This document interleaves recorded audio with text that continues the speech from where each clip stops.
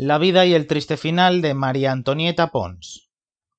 María Antonieta Pons, nacida el 6 de noviembre de 1922 en La Habana, Cuba, y fallecida el 20 de agosto de 2004 en la Ciudad de México.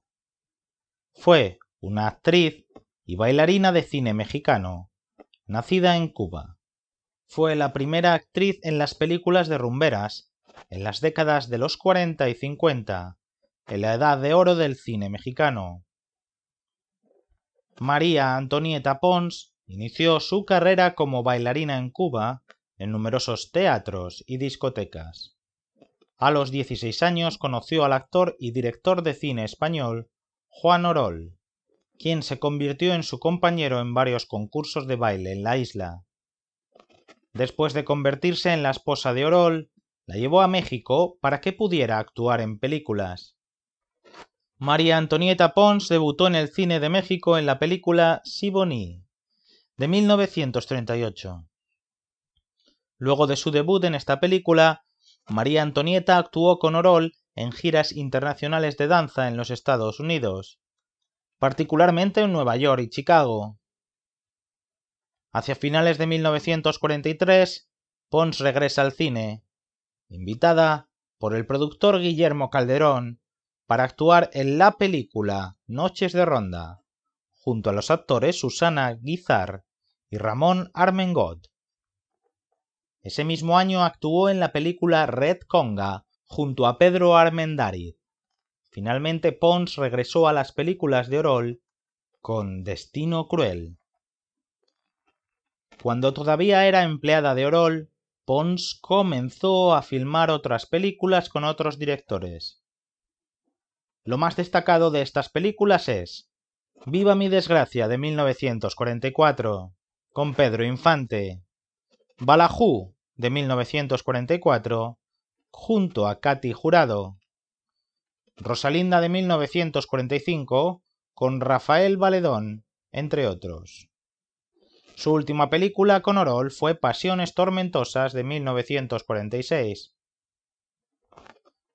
Después de su ruptura con Orol, Pons fue contratada por el productor de cine Gregorio Wallerstein. Bajo la dirección de Wallerstein filmó películas como La Reina del Trópico de 1946, La vida íntima de Marco Antonio y Cleopatra de 1946, con el actor argentino Luis Sandrini y dirigida por Roberto Gabaldón. La Sin Ventura de 1947, Ángel o Demonio de 1947 o El Bien Pagado de 1948, entre otras cintas. En 1949 actuó en la segunda versión cinematográfica de La Mujer del Puerto. La primera versión la realizó la actriz Andrea Palma en 1934. La suya estuvo dirigida por Tito Davison. Pons conoció a su nuevo marido, el actor y director Ramón Pereda en 1950, cuando la contrató para filmar El Ciclón del Caribe. Pons y Pereda se casaron poco después. Con Pereda como director, Pons realizó películas como La Reina del Mambo de 1950 María Cristina de 1950, La Niña Popov de 1952 o Casa de Perdición de 1954, entre otras películas. En 1952 se incorporó al mercado brasileño con la película Carnaval Atlántida. En la década de 1950 tuvo famosas colaboraciones cinematográficas con Evangelina Elizondo en Qué bravas son las costeñas de 1955, con Antonio Espino Clavillazo en Nunca me hagan eso de 1956 y con Germán Valdés Tintán en El Teatro del Crimen de 1956, Las Mil y Una Noches en 1957 la Odalisca número 13 de 1957 o Una estrella y dos estrellados de 1959,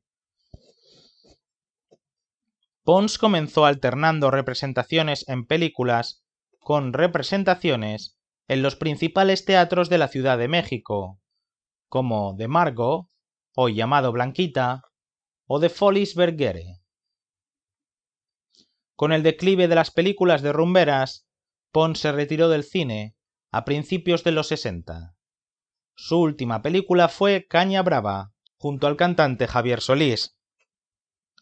Después de Caña Brava, las apariciones públicas de Pons fueron limitadas. Aparecieron especulaciones sobre la ubicación de su residencia. Se han propuesto Los Ángeles, Miami o Nueva York.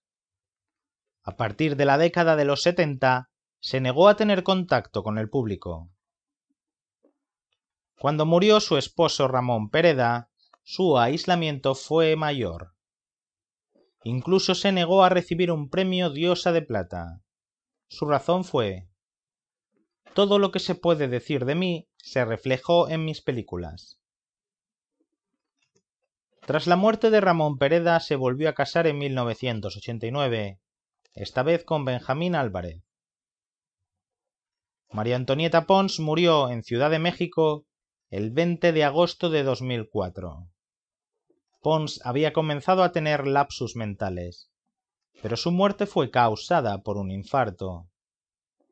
A petición suya se anunció su muerte una vez concluidos los servicios fúnebres.